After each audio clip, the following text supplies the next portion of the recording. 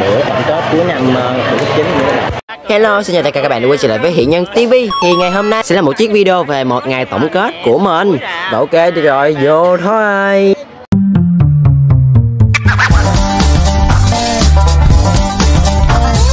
Đó, mới giờ thì mình sẽ thấy uh, rất là nhiều học sinh nha các bạn. Quá đông luôn. Ngồi kế chị hai mình nha các bạn. Đây, chị hai mình ở trên đứng ngồi còn ở trên đó là một nha các bạn Còn ở đây là Nhi nha các bạn. Hồi hôm qua mình hẹn nó là mình sẽ vô sớm là 6 giờ 10 mình sẽ vô. Nhưng mà các bạn biết không? Thật ra không phải là mình không vô mà tại vì á là sáng mình thức dậy mình mở cái điện thoại lên. Điện thoại điện thoại mình sạc nó không vô các bạn. Nó còn nó còn có 12 phần trăm mà mình sạc có là 12 phần trăm. Giờ sáng dậy cũng còn 12 phần trăm nó mà được phần trăm nữa các bạn. Mình phải đợi một chút xíu cho nó lên được 18 phần trăm mình mới dám đi các bạn. Bây giờ tất cả mọi người đang ổn định vị trí và chuẩn bị làm lễ nha các bạn. Đó, rất là đông các bạn đang uh, sắp xếp địa hình đó Đó, này là con quỷ Xuân Nhi các bạn. Đó, xung lên. Này là chị hai mình nè các bạn, Thanh Giang. Này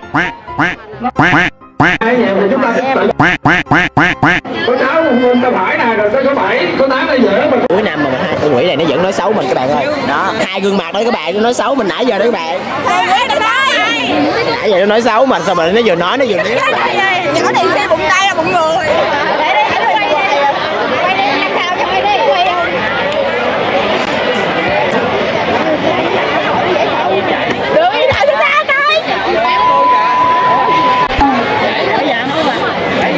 Bà Đông Quay cái mặt mày nè, cái mặt mày nè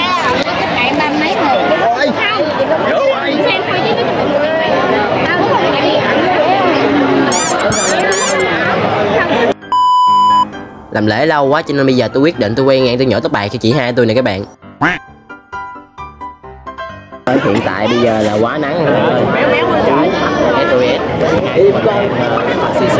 Biến nha Biến giờ là bây giờ là tụi mình đang ngồi đợi phát thưởng mà lâu quá các bạn ơi nói lâu quá biến như bạn bạn đây là học viên cho các bạn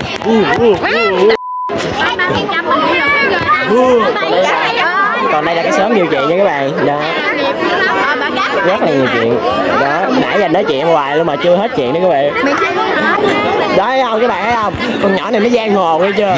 Nó nhìn ai nó cũng liếc liếc liếc người ta hết trơn các bạn.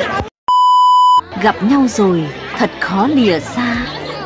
Bao tâm sự còn đang giang dở. Tình ta mênh mông như biển trời. Ông Tàn ơi lúc này là tôi tính lên quay cái trên mà chụp hình từ trên chụp xuống. Á tại tự nhiên lên xong rồi cái bị thấy nhiều người bớt cái bị ngại các bạn coi nè.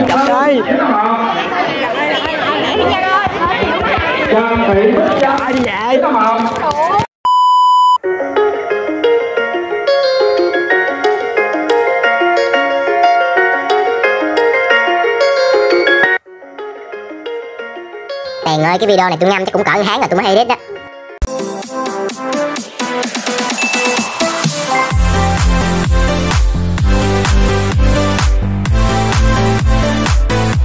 Và ok, cảm ơn tất cả các bạn đã xem hết video này. Nếu như các bạn thích video này thì đừng quên nhấn like, share và subscribe. Đừng quên nhấn cái chuông thông báo để nhận thông báo sớm nhất khi mình ra video mới đó. Còn bây giờ thì bye bye.